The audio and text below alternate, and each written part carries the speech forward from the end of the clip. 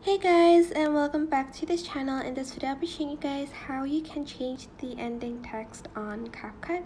So usually when there is an ending, um, I can't edit the text. It's just going to show up the CapCut um, like logo.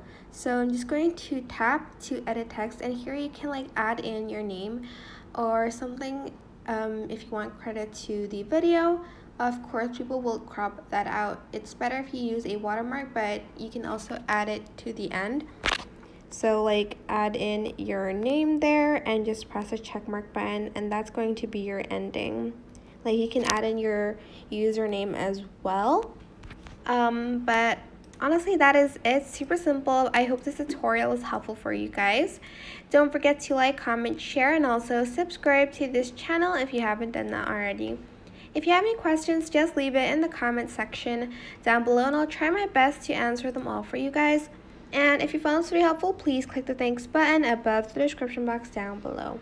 Thank you so much for watching. Bye!